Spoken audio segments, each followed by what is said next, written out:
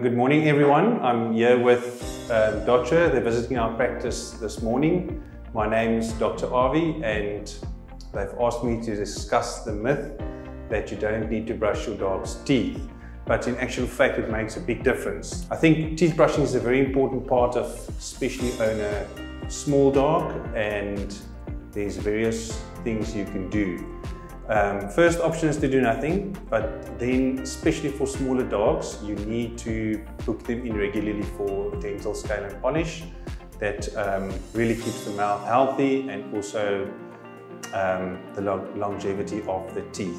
Yeah, the second option you can use, there's a gel. They're readily available at any good um, vet shop or practices. And it's a gel that reduces the bacteria count in the mouth. You put it on your finger, rub it on the gums, ideally once a day. So that's an option that reduces the plaque and the tartar buildup, so it prolongs the time in between dentals greatly.